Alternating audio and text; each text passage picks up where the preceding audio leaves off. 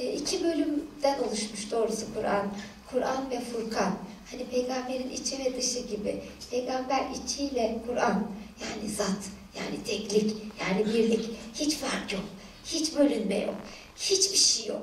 Sadece birlik var. Onun için peygamber baktığı zaman hata görmüyor. Yanlış görmüyor.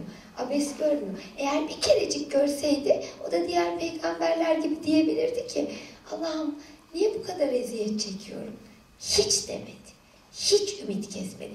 Çünkü hadiselere hiçbir zaman dış gözüyle bakmadı, iç gözüyle baktı. Dış gözüyle bakmak daha Furkan oluyor. Diğer kitaplar gibi. Yani Kur'an'dan başka diğer bütün kitaplar adları Furkan'dır. Farkı görürler. Fark lazım iyi kötüden ayırmak için. Ama iyi kötüden ayırabildikten sonra da iyinin de kötünün de yalnız o tecelli olduğunu idrak etmek lazım. İşte bu Kur'an'dır, bu birliktir, bu hakikattir. Allah manasından ayırmasın ve papağan gibi okumayı değil de Kur'an'ı hal etmeyi bizlere nasip etsin. Yoksa Kur'an'ı okuyan, bilen çok insan var.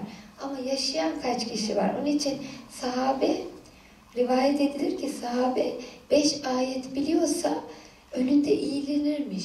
Beş ayet ezberlemiş sahabenin. Çünkü her ayeti hal etmeden ikinci ayeti ezberlemezlermiş. E, onun için Allah bize de hal etmeyi, öğrenmeyi nasip etsin. Hadiselerden manayı idrak etme kabiliyetini Allah bize nasip etsin inşallah.